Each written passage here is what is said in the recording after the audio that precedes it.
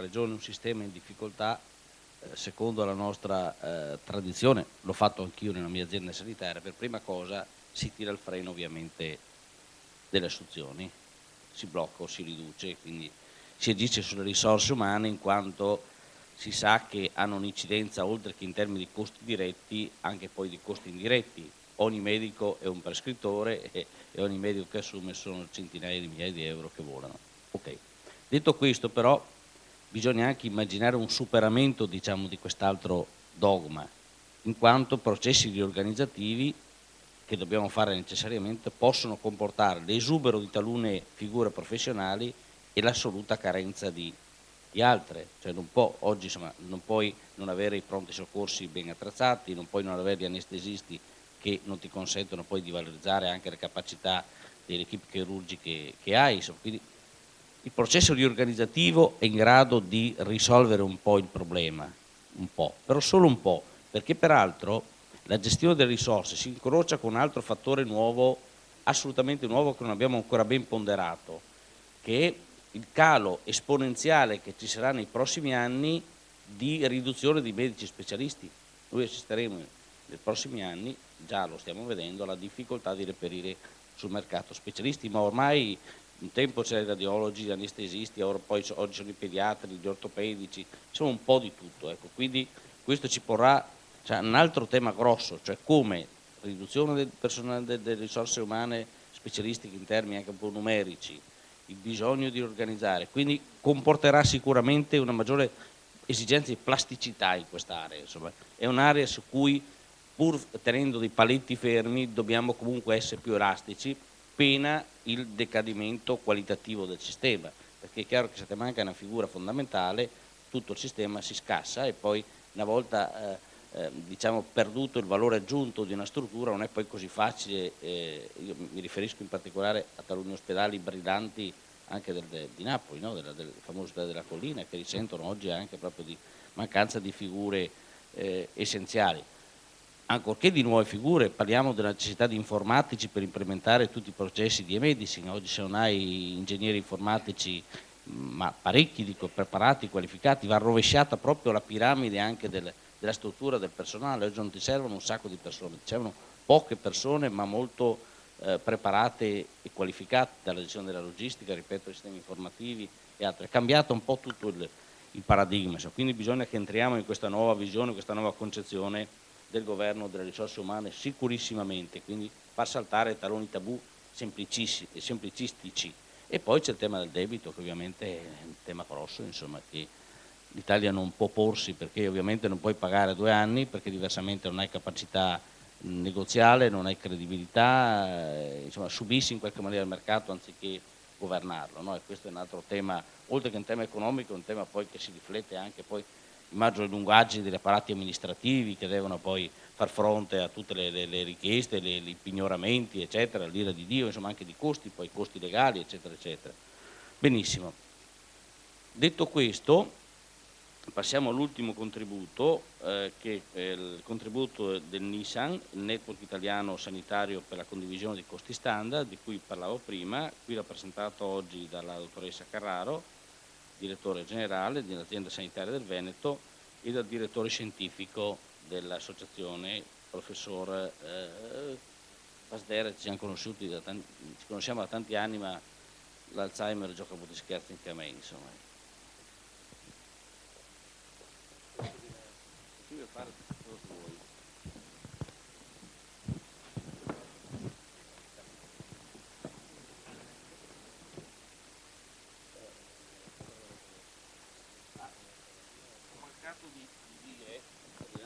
Ho mancato di dire che eh, Federsanità ha stipulato un accordo con eh, il consorzio di costi standard per far aderire i propri aderenti e come federazione per organizzare un grosso evento in autunno in cui possiamo confrontarsi su queste nuove metodiche, nuove metodiche che non sono solo il confronto di numeri ma anche una nuova filosofia perché ne parlavamo con, con, eh, ne parlavamo con il professor Pasdera dell'importanza se vogliamo valorizzare la dimensione territoriale di superare il concetto di DRG che è tipicamente legato alla struttura ospedaliera per andare al modello degli HRG sul, sul sistema inglese insomma quindi che analizzi l'intero percorso di, di cura, no? così potremo avere anche ovviamente eh, importanti informazioni supplementari.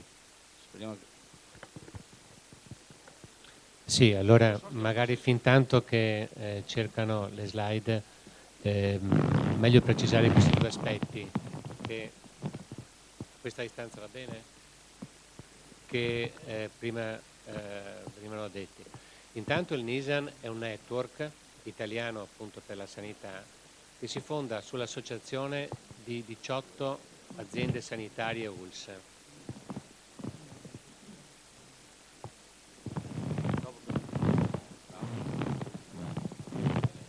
Queste 18, queste 18 aziende,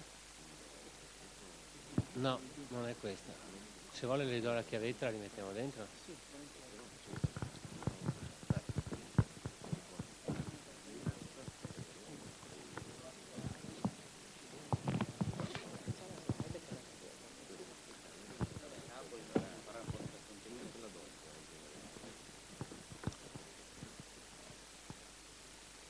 Il Nisan è una eh, che è nata nel 2008, dunque molto molto giovane.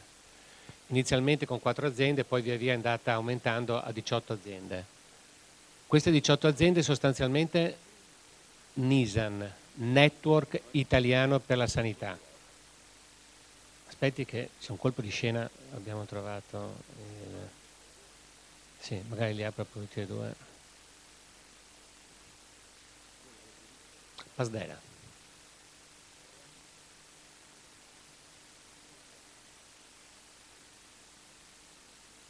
Ok, eh, basta per andare avanti, basta prendere questa? Quella con la freccia, ok. Anche questo è lo stesso? Allora, sostanzialmente gli obiettivi sono questi.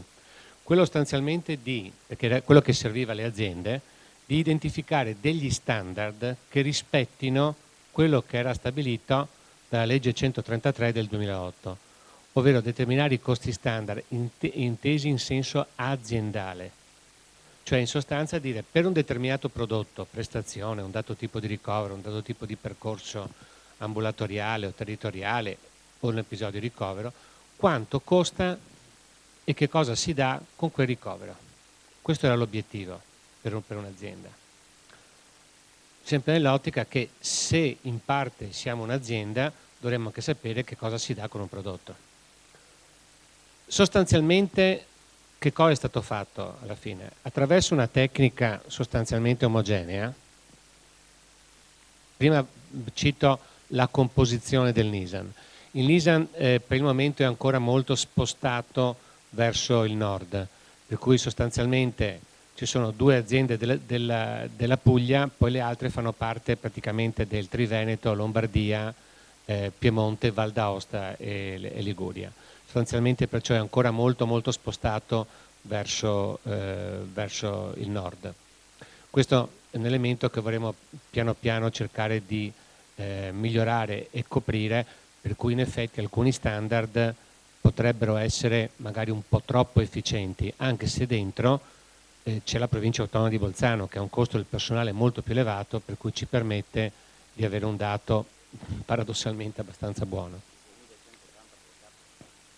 Sì, mh, mm, si trattano bene ecco, in sostanza, per cui... Eh, eh, per fare questo, ed è questo in sostanza cos'è il Nisan, che cosa si fa?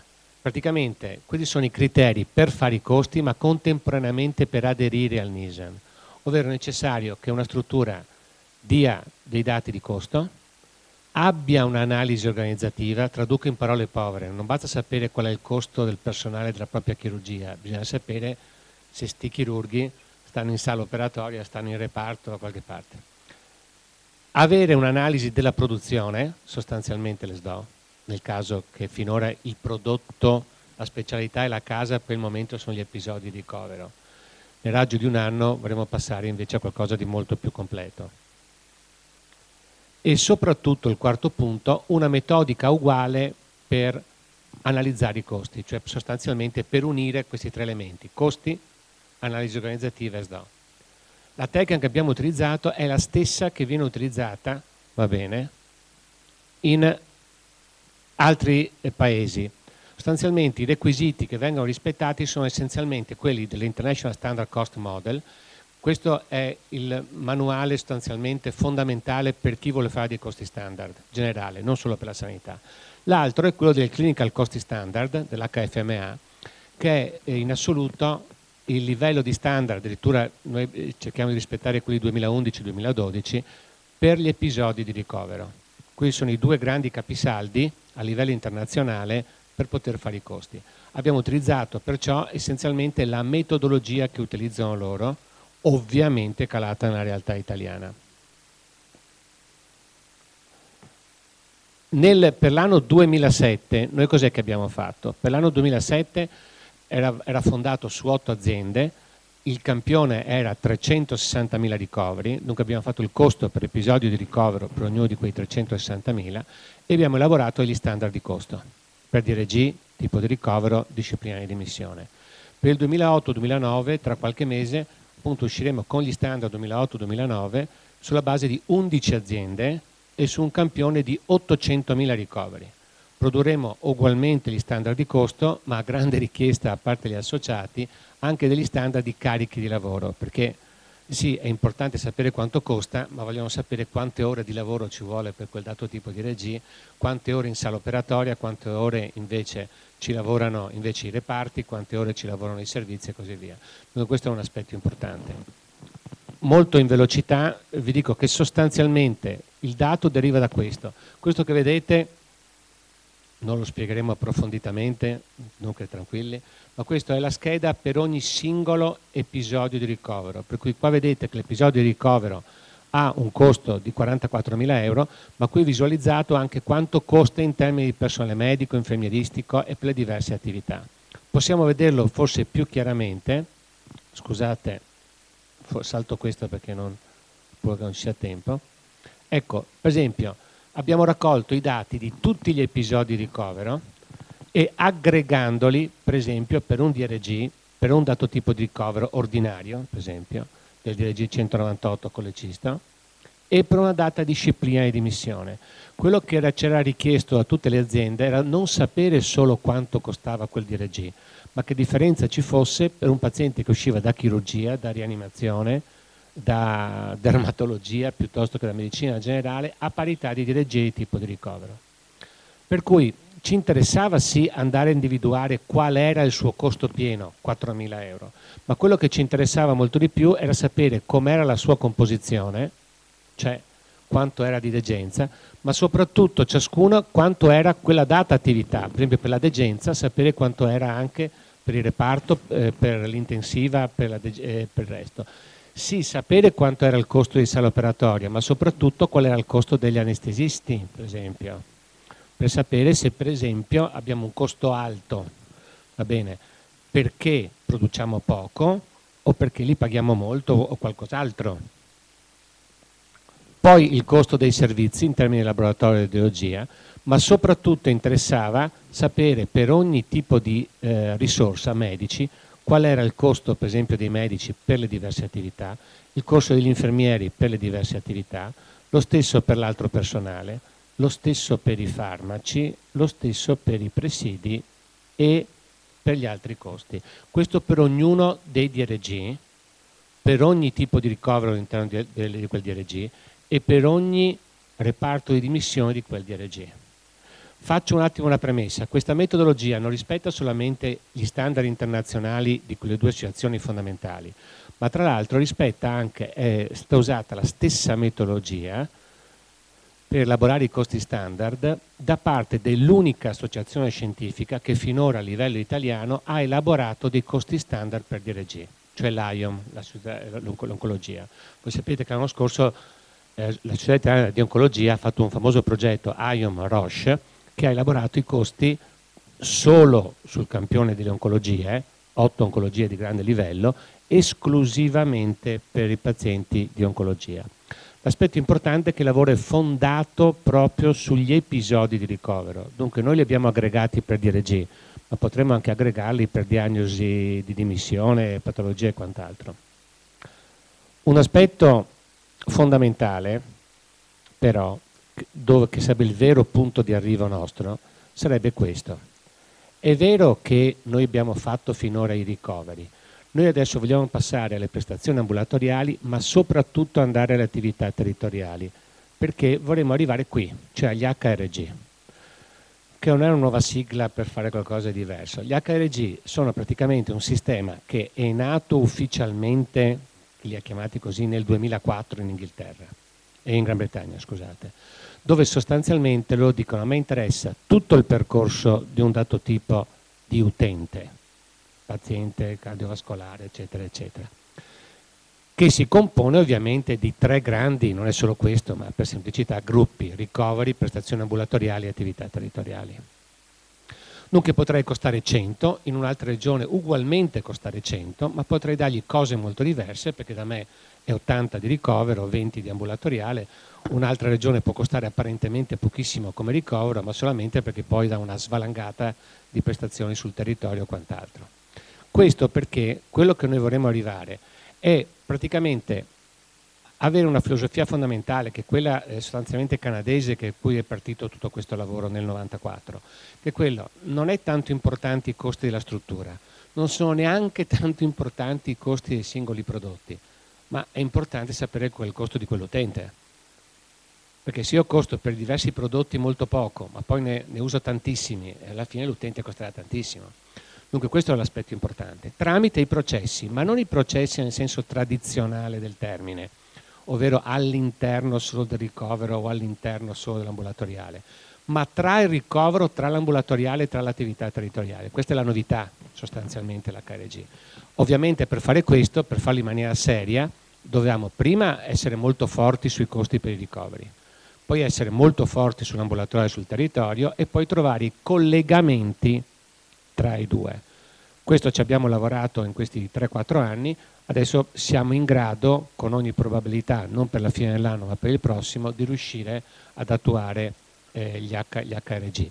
Certo la base dati che abbiamo sui ricoveri è molto molto buona, perché arrivare a 800.000 ricoveri do un, un indizio. A livello europeo i costi standard, la nazione che ha i costi standard col maggior numero di casistica attualmente è la Svezia, che lavora su 1 milione, 1 milione e 200 mila casi. Dunque con 800 mila casi è molto molto buono già questo tipo di standard.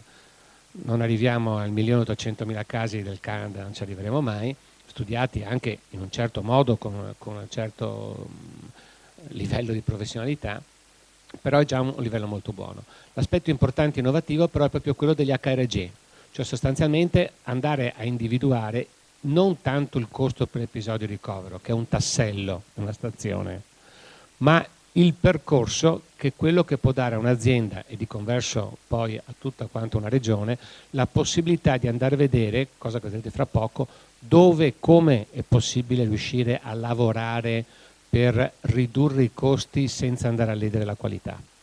Detto questo, credo che sia magari bene passare la parola all'Avvocato Carraro che può far, vedere adesso la parte dell'utilizzazione di questo.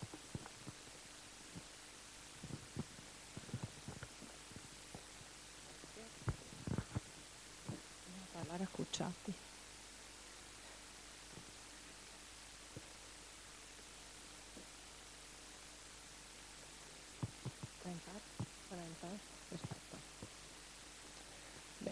Buongiorno a tutti, vista l'ora sarò velocissima. Le, quando abbiamo deciso come fare questo intervento abbiamo pensato appunto di suddividerlo in due punti. La prima parte la spiegazione della teoria, i principi su cui ci basiamo e la raccolta dei dati, come la facciamo all'interno del network.